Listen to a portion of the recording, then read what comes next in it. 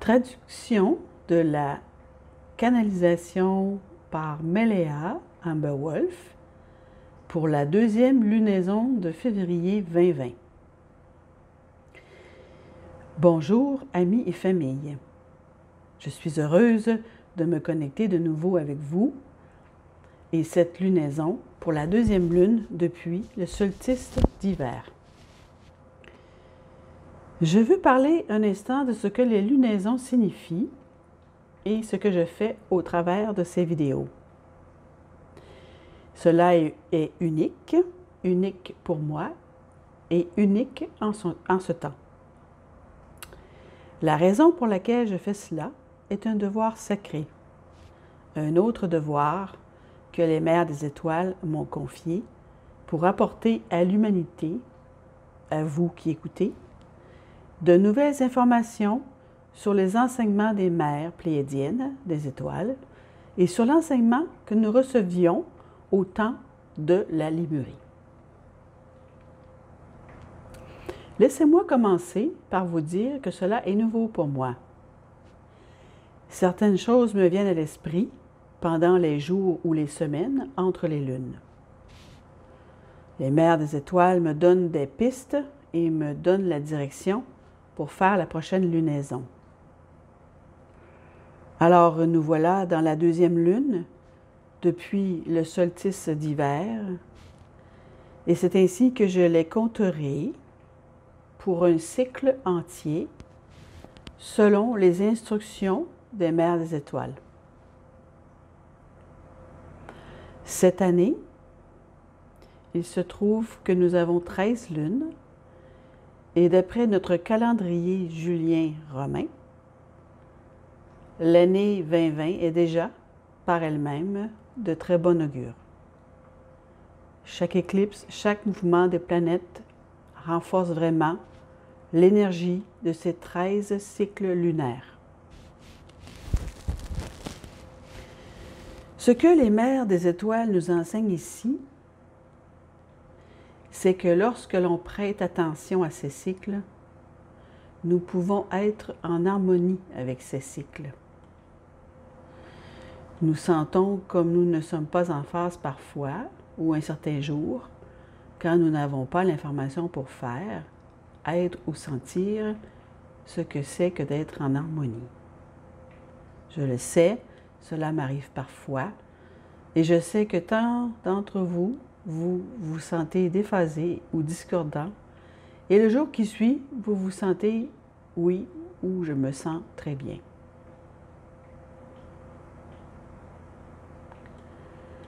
Qu'est-ce qui change? Qu'est-ce qui fait qu'une journée je me sens bien et une journée je me sens déphasé? Beaucoup vient du fait que nous avançons au travers de transformations solaires, lunaires et planétaires qui se passent dans les cieux, dans notre galaxie, la Voie lactée, et nous ne savons pas ce qu'ils sont. Alors, je vous encourage, comme j'essaie de m'encourager moi-même, et que d'autres personnes de la communauté m'encouragent, à regarder chaque jour, ou peut-être est-ce plus rapide que cela?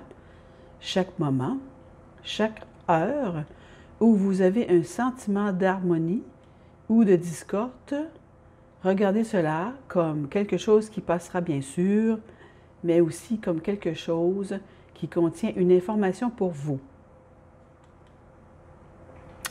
Pourquoi les choses nous arrivent-elles à nous? Bien sûr, quand elles ont une information pour nous, elles n'arrivent pas simplement par hasard. Elles arrivent alors que tout s'enligne, alors que notre conscience s'élève.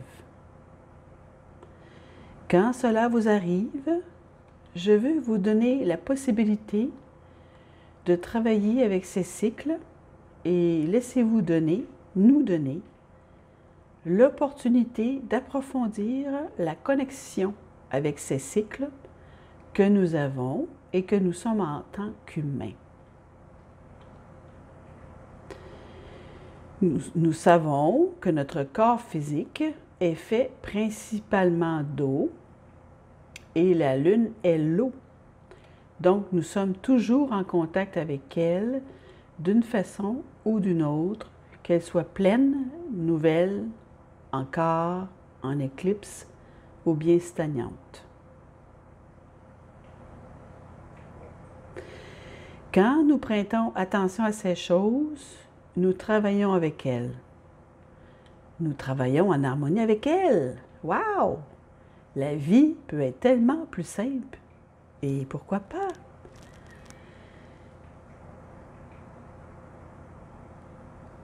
Pourquoi ne pas avoir l'harmonie quand c'est possible?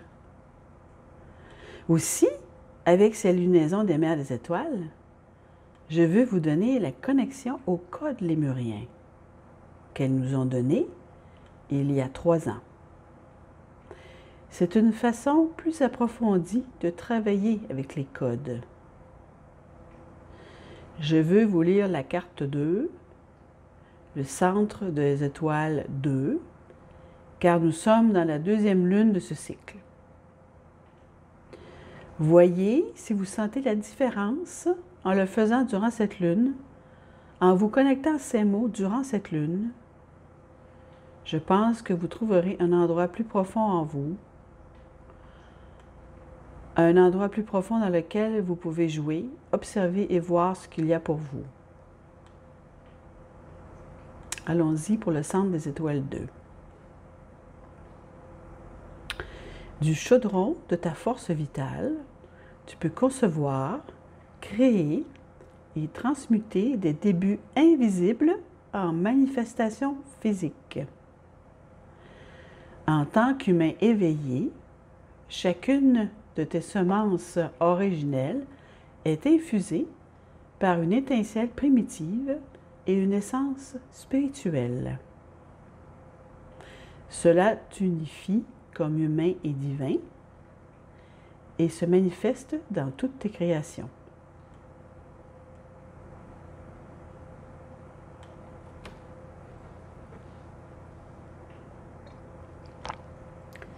Laissez-moi aller plus profondément dans la signification du, du deuxième centre d'énergie.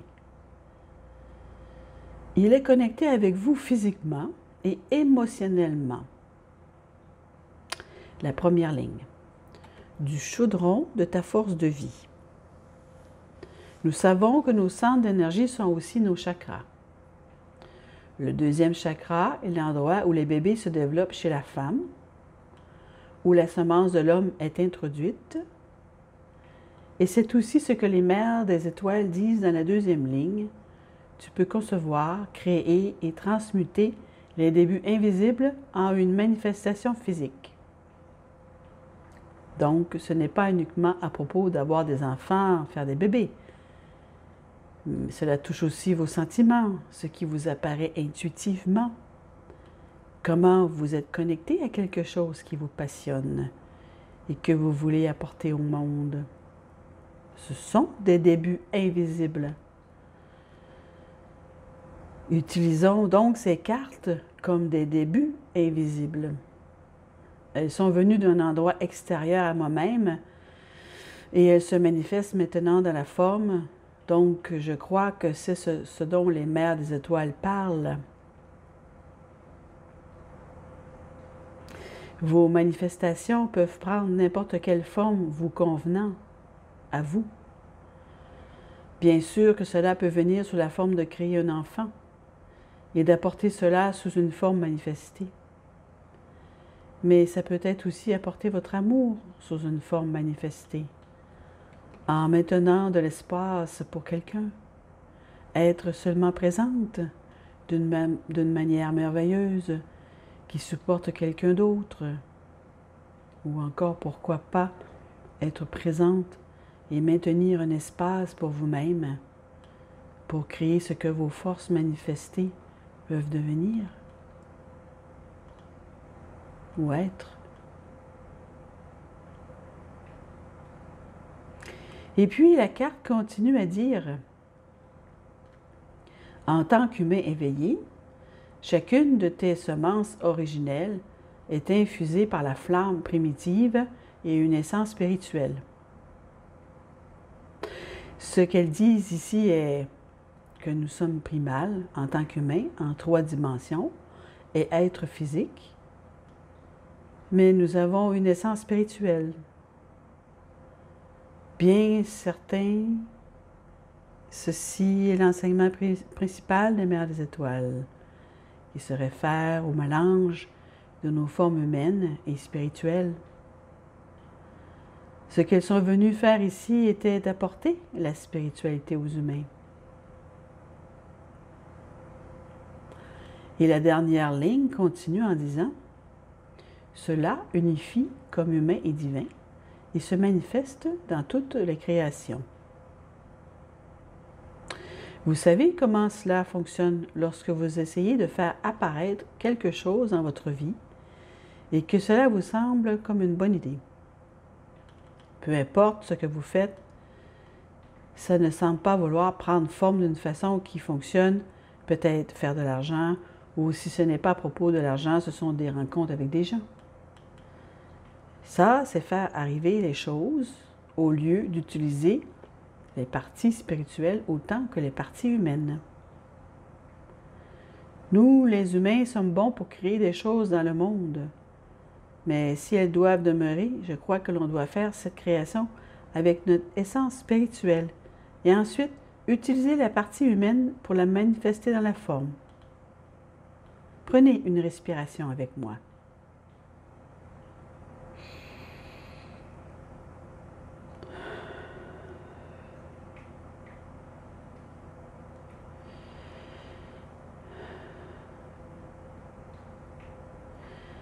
En enregistrant cette lunaison, je me centre dans les mers des étoiles et je les laisse utiliser ma voix pour apporter toutes ces nouvelles informations. Et je suis honorée qu'elle utilise ma voix, mon véhicule, pour apporter cette information. Cela fait longtemps depuis que nous avons eu une connexion si proche et profonde avec nos parents originels, les Pléiadiennes, les mères des étoiles.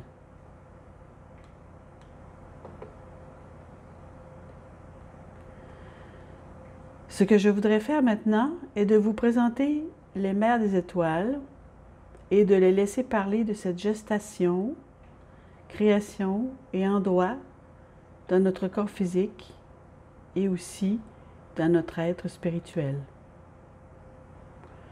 Prenez quelques respirations, détendez-vous, soyez prêts à recevoir. Les mères des étoiles sont nos parents bienveillants et aimants, et elles nous donnent ce qu'elles sentent être correct pour nous à ce moment de notre évolution. Elles observent et attendent pour ce qui peut suivre.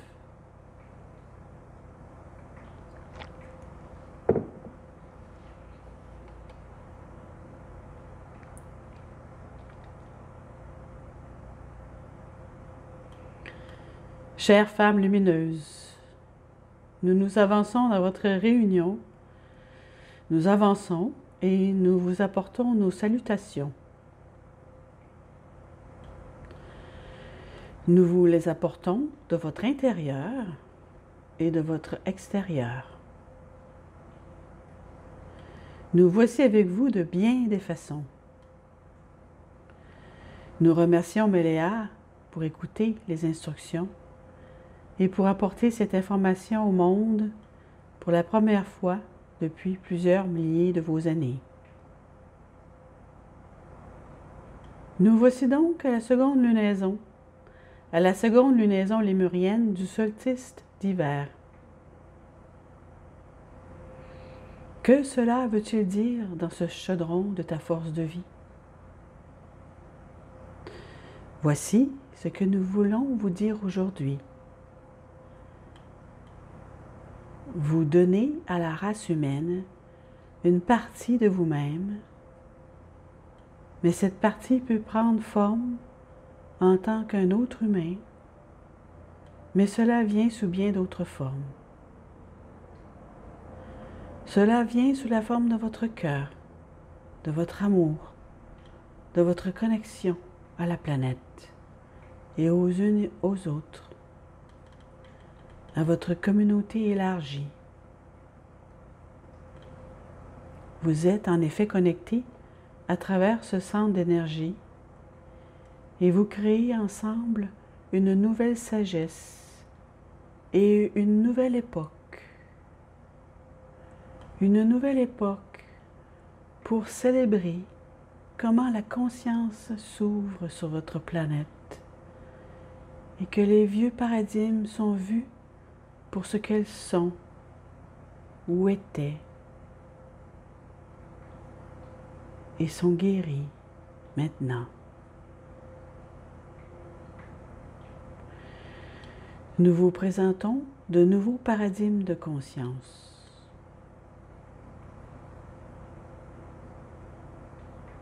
Nous avons tant d'enseignants sur la planète de nos jours et nous sommes tous en synchronisation, en harmonie avec ces nouveaux paradigmes de prise de conscience.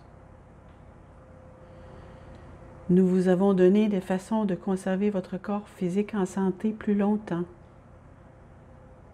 Nous vous avons donné des façons de vous relier les uns aux autres sans l'usage de l'électricité et du téléphone. Nous savons que vous savez au sujet de la télépathie et de l'intrication. Quand vous êtes dans ce chaudron de création, dans votre second centre d'énergie, c'est là que les idées entrent en ébullition pour votre futur, là où elles attendent que les parties et les fragments se ressemblent et se rassemblent.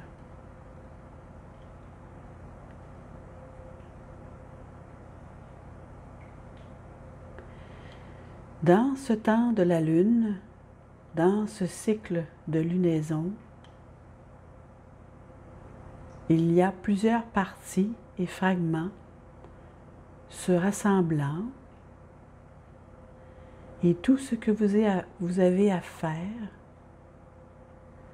est de vérifier avec cette partie de votre corps, vérifier avec cette partie de votre âme, cette partie de votre être, et voyez si c'est le temps que votre manifestation vienne au monde.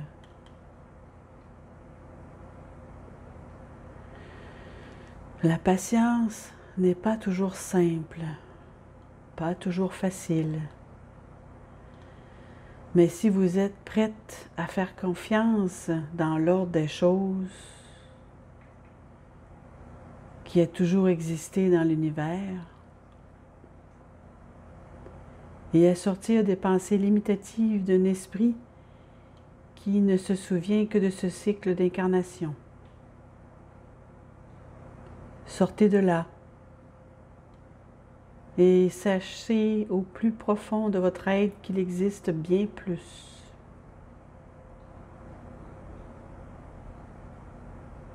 Ayez confiance qu'il y a davantage. Et puis, détendez-vous et respirez dans ce plus, dans ce plus. Respirez juste dedans. Et puis observez la magie se dévoiler. C'est ce que nous vous enseignons dans l'entraînement chamanique, chère femme lumineuse, qu'il y a de la magie et vous en êtes les créatrices. La magie existe déjà, Comment va-t-on la créer?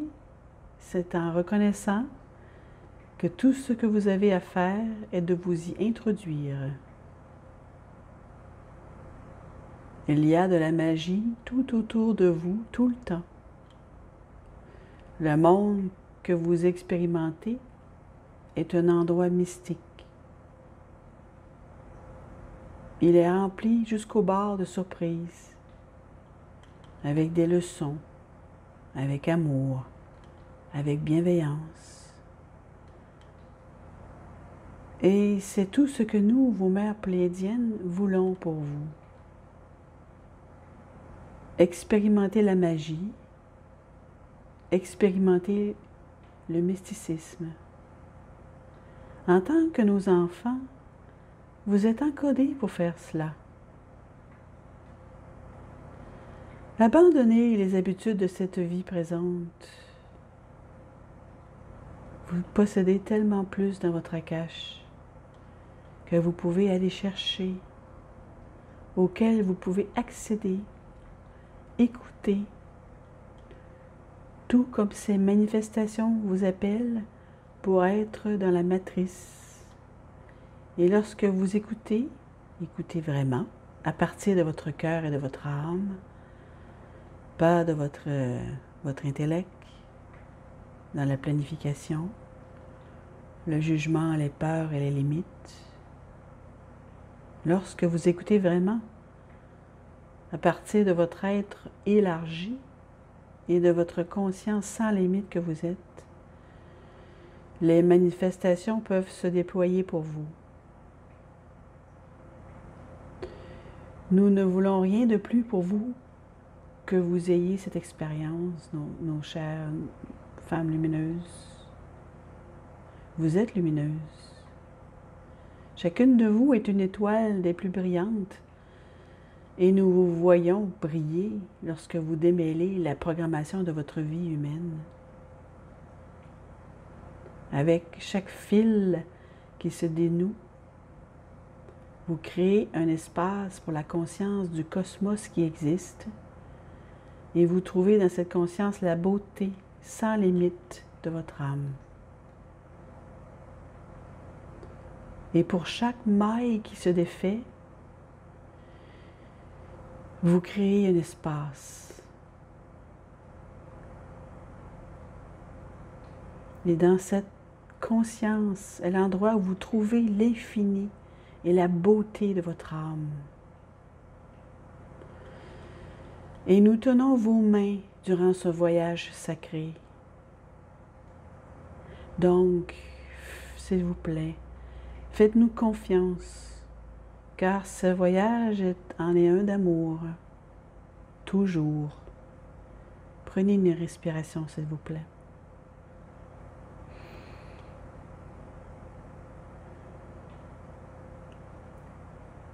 Comme nous arrivons à la totalité du message, nous vous demandons, dans ce cercle de lunaison, d'être consciente de la voix qui provient de votre deuxième centre d'étoile.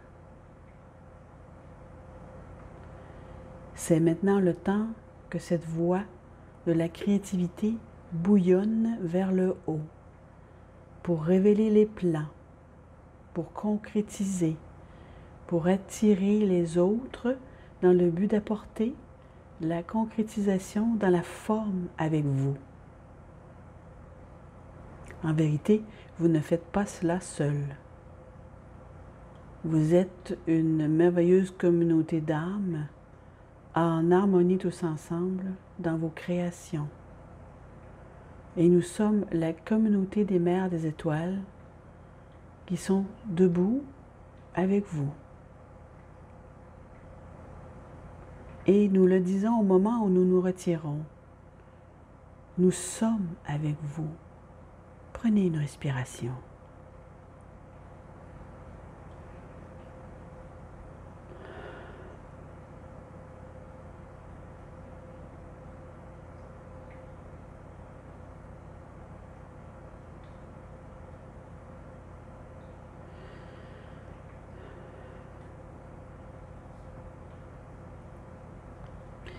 Merci, Mère des Étoiles. J'aimerais remercier tous ceux et celles qui aident à mettre ceci ensemble. Mon éditeur, mon fils Orion, Julia, qui a créé la musique derrière, tous les mois, merci beaucoup, facilitatrice de l'Italie, et toutes les personnes qui traduisent. Brian, qui traduit en allemand, Pillard, en Amérique du Sud, en Colombie, Nancy Côté au Québec pour le français. Merci à vous tous. Mère des étoiles qui travaillent en nous tous, qui sont debout avec nous tous, qui nous donnent cette occasion de rejoindre différents niveaux d'éveil durant cette vie-ci. Merci. Comme Crayon en a dit à plusieurs reprises, nous avons choisi de revenir maintenant. Nous avons choisi de revenir maintenant. Et il y a 350 millions de vieilles âmes vivantes actuellement sur Terre, créant ce passage de conscience. Donc, laissons l'énergie du centre de l'étoile 2 bouillonner, rejoignant le champ où se trouvent ces autres 349 millions de vieilles âmes, où vous pouvez vous retrouver les uns et les autres, vous pouvez toucher les fréquences de l'un et de l'autre, et ensemble apporter cela dans la forme manifestée. Merci beaucoup d'avoir pris le temps avec moi pour cette lunaison avec les mers des étoiles et d'utiliser l'information pour créer la magie dans votre vie. Mahalo.